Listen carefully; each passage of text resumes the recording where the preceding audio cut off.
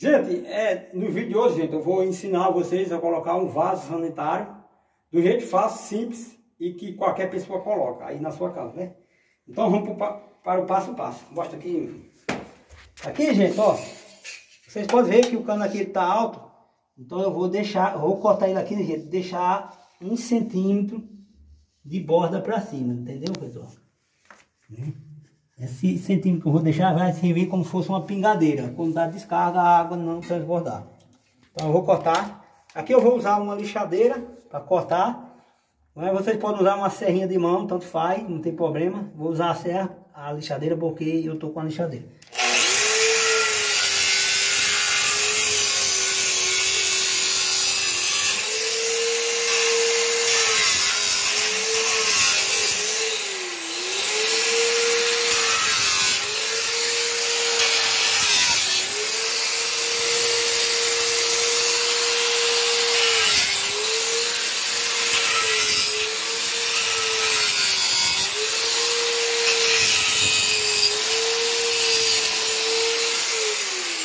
Vamos lá, vamos pegar aqui.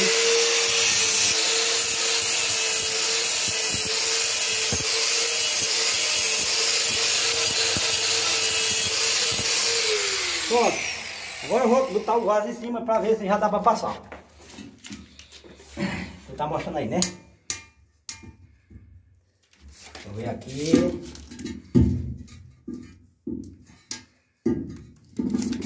Pronto, já dá para passar, tranquilo. Agora aqui, gente. Agora, o próximo passo aqui, pessoal. Vou dar mostrar aí, filho, de perto. Eu vou dividir o eixo aqui, ó. O eixo do cano, né? Então eu vou fazer isso, que isso aqui, ó. Fica mais fácil na hora de eu centralizar o vaso sanitário. Agora aqui, gente, ó. Dá pra ver aí, pode ver. Vamos lá. Deixa eu pegar aqui. Deu 34. Deixa eu marcar 34 aqui.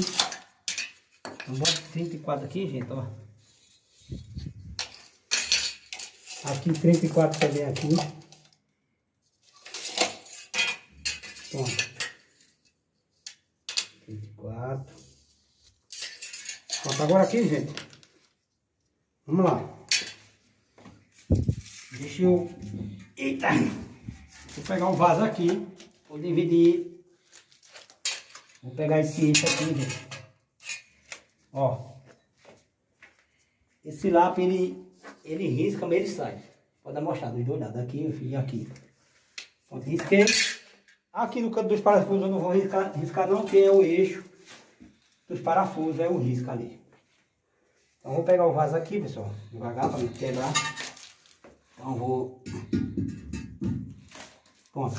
Deixa eu ver, mostra aqui, meu filho. Vocês podem ver. Sim, deixa eu riscar aqui. Aqui, gente, que é para pegar o eixo. Com essa dica, não coloca vaso sanitário quem não quer. Bom. Aí. Agora vamos lá, vamos lá, vamos lá. Tá mostrando aí, né? Pronto. Deixa eu riscar aqui. Gente, ó. Riscar um eixo aqui. Bota ali, aqui, esse lado tá aqui também. Bem. Aqui. Deixa eu alinhar aqui. Pronto, tá tudo no eixo. Agora, ó. Agora. Ih, ele meu lápis não vai alcançar não. Mas eu vou marcar com outra coisa aqui. Deixa eu pegar um lápis aqui. Gente, eu procurei um lápis, não encontrei. E eu vou usar esse prego e vou bater de leve em cima para ver se ele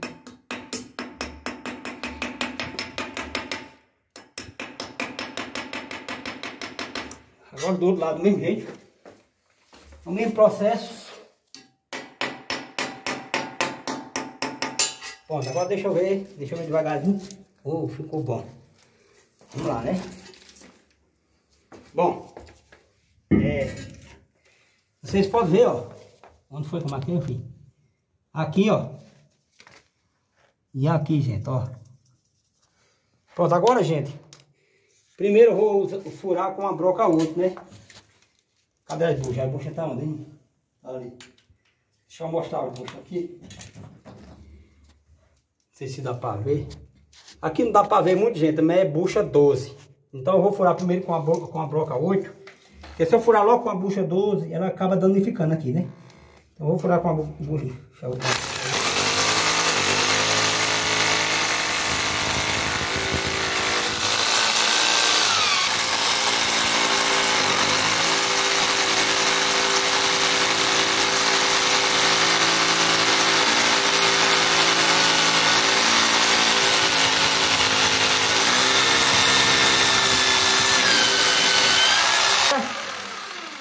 a broca, eu trouxe a broca 12 pra cá não, né?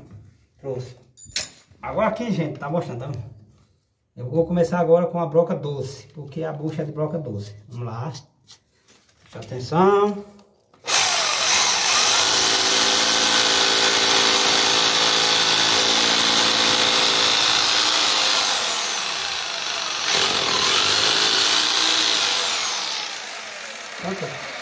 Pronto, gente, furei agora aqui. Tu tá mostrando aí, né? Uhum. Presta atenção na bucha, gente, ó. O lado que abre, pessoal, a bucha, ela vai... Ela, olha aqui, esse lado que abre, nunca coloca para o lado do cano. Sempre desse lado aqui, gente, ó. Sempre para esse lado, pessoal. Nunca pro lado do cano. Por quê? Porque quando estiver apertando o parafuso que ele começar a abrir, ele vai abrir para cá e não vai abrir o, pro lado do cano. Então, bora lá.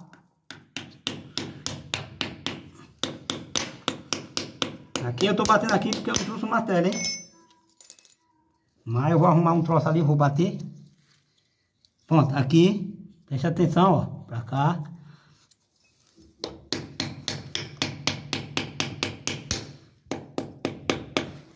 Deixa eu ver.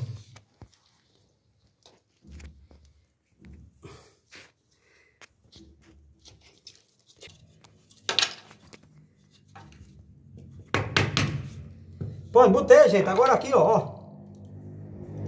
Eu vou... Eu encaixo logo aqui, gente. Gente, fácil, vou passar para o parafuso. Lembra-se, pessoal, quando for colocar um vaso, ó. Nunca corta o cano todo até na cerâmica. Deixa esse pedaço. Isso aqui vai servir como uma pingadeira. Quando der descarga, ela não vaza. Astra. Anel de vedação para a bacia sanitária. Bora lá. Olha. Pode começar. Pronto. O próximo passo, gente. A gente vai usar o anel de vedação, né? Anel de vedação, vocês podem ver, já vem na caixinha, ó. Tudo dando as dicas. Anel de vedação já está dizendo tudo. Ele veda o mau cheiro que vem da fossa ou qualquer tipo de troço que possa passar por, por debaixo do vaso, ele veda, né? Água, é, mau cheiro, tudo. Sem contar que aquele cano ali que eu deixei passando aqui, essa, esse pedaço aqui, mostra aqui. Ele já serve também de vedação, como eu disse, né? Ele veda, coloca aqui, enfim. Pronto, vocês vão fazer isso. Aqui, gente. Você segue a mesma dica ó, do, do, do, fabricante. Vocês podem ver ó, que estou seguindo a mesma norma. Pronto. Bora lá. Agora, próximo passo. Pegar o vaso com cuidado. E ter cuidado para não quebrar o vaso. Se não tiver cuidado, ele quebra. Vamos lá. Tá mostrando aí? Agora mostra lá daqui.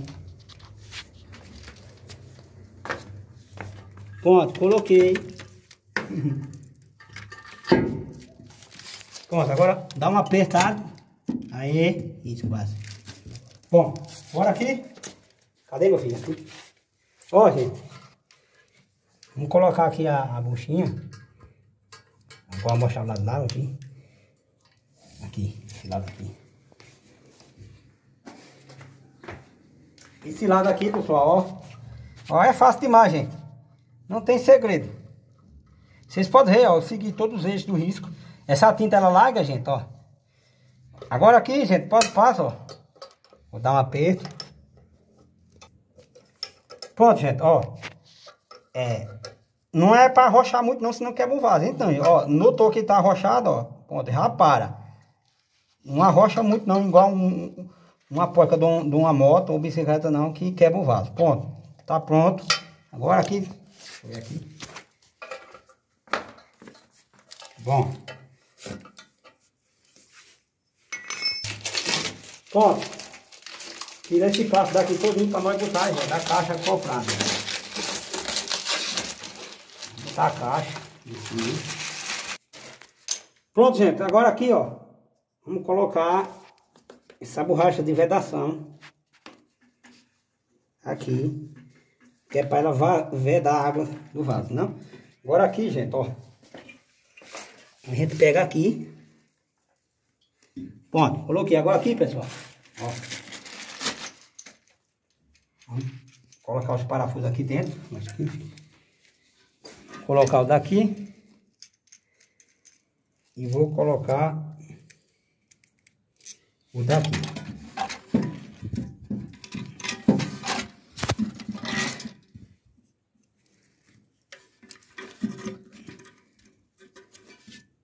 Pronto. Essas borrachinhas, ó, sempre para dentro do lado da caixa croprada. Pronto. O próximo passo aqui é a rochagem. Pronto. Vou arrochar.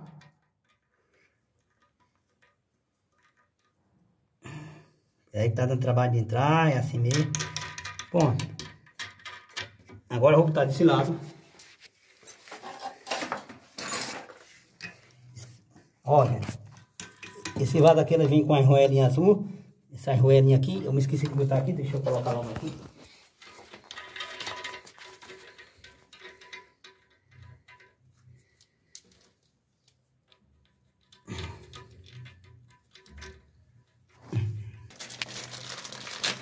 Agora aqui, gente, posso passar aqui, ó. Não colocar essa peça aqui, ó.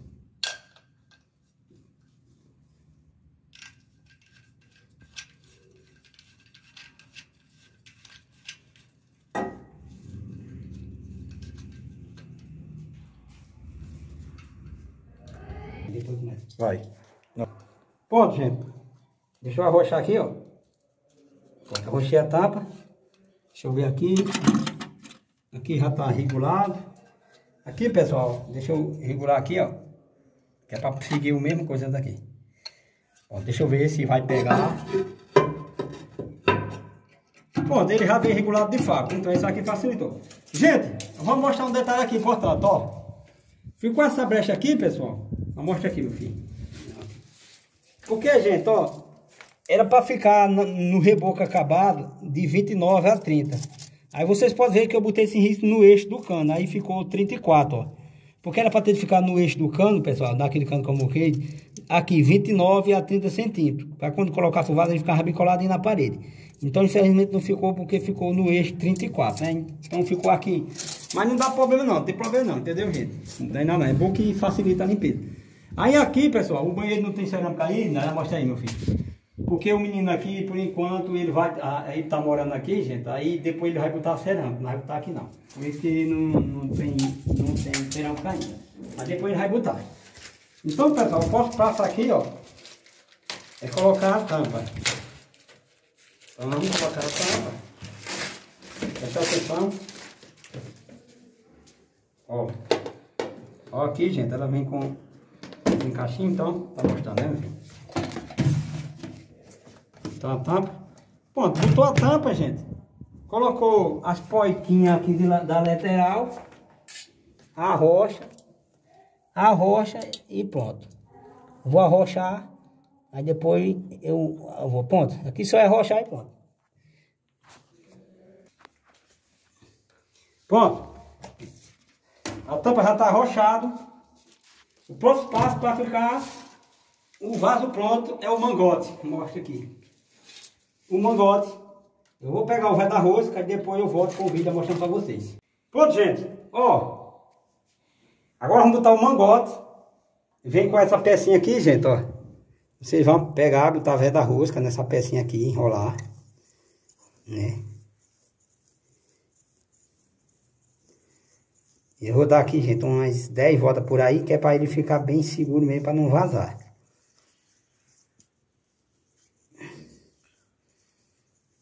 Pronto. Agora, agora coloca aqui, pessoal, ó. E agora vocês vão usar uma chave de grife.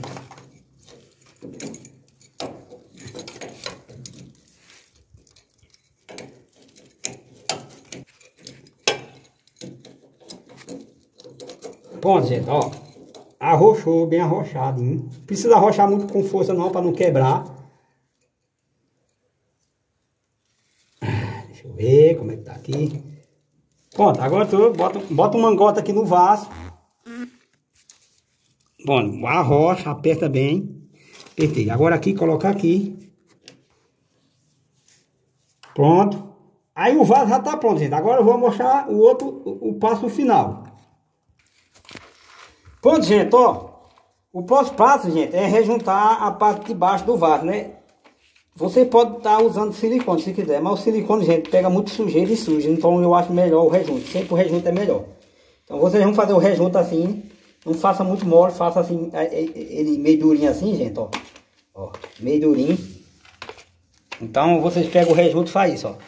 Pega uma espada, aperta assim, ó, que ele entra pra baixo. Ó. Todo indo você vai fazer isso aqui todinho. Aí faz gente, ó. Ó. Faz. Aí vocês vão rejuntar o vaso todinho. A rebaba do vaso todinho.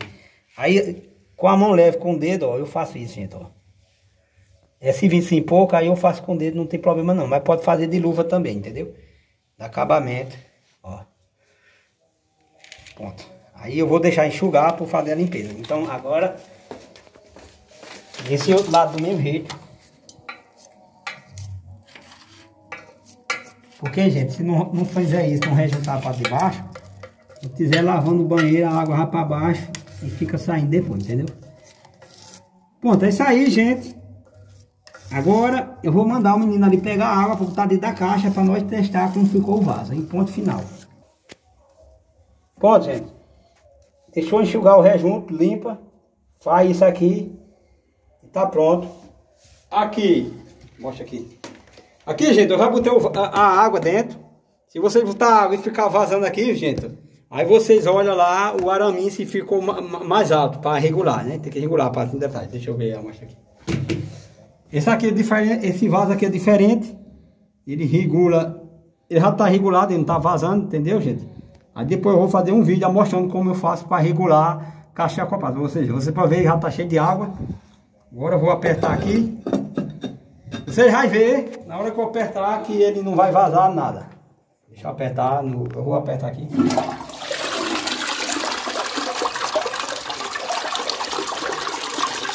Aí, mostra aqui na parte de baixo. Aí, gente, não vazou nada, tá perfeito, o vaso tá assentado, é dessa forma. Qualquer um bota. Aí aqui, pessoal, ó. Como eu disse a vocês, gente, ó. Ficou essa brecha aqui, ó, gente, cabe numa mão porque ficou no eixo do cano. Aí aqui, ó, sim, lembrando, gente, que aqui a encanação eu não fiz, o menino ligou para mim colocar o vaso, eu vim colocar o vaso. Então, acabou ficando essa brecha, gente, porque o menino deixou com 34 no eixo do cano, né? E era para ter ficado com 29, pessoal, para ficar bem coladinho na cerâmica, 29 a 30. Eu vou mostrar um cano ali que ele deixou em todos os banheiros. Vou dar uma pausa ali e eu vou mostrar aí para vocês verem. Aí aqui, gente, ó, o menino deixou no eixo do cano, gente, 33. O reboco já tá feito. Era para ter ficado, gente, ó, no reboco 30. Porque quando coloca a cerâmica, ele fica 29. Aí o, o vaso, ele, a caixa copada fica bem coladinha na cerâmica. Então, pessoal, quando vocês for colocar um cano de d'água aí no seu banheiro, lembre-se, quando tiver com o reboco acabado, deixe, gente, com 30. Para quando colocar a cerâmica, ele fica 29 e o vaso dá certinho. Se não tiver o reboco só na parede, vocês colocam 32,5 aqui no eixo, 32,5 que ele vai dar certo. Vocês podem ver ficou 33, quando colocar o a cerâmica e colocar o vaso, ele vai ficar uma brecha passando uma mão, né? Então fica essa dica aí, quando for colocar um cano para um vaso, deixe no reboco com 30 e sem reboco 32,5. É isso aí, gente, fica essa dica. E com essa dica não aprende quem não quer, qualquer um faz. Então é isso aí.